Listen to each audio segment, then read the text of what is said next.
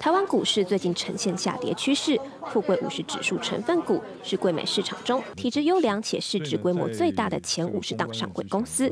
从数据来看，富贵五十指数虽然今年以来跌幅超过三成，公司营收却是持续成长。以富贵五十指数的五十家成分公司来看，今年的一到十月的营业收入。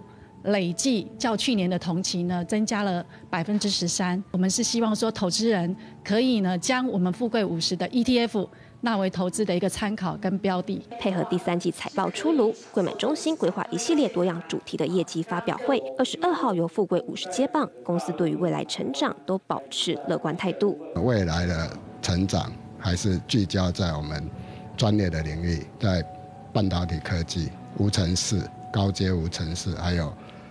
水气化工程，还有民生产业，包括商办、数据中心、生技医疗产业。其实就二零一九年的一个展望来看，我们依旧会在导线下这一块领域有一些成长。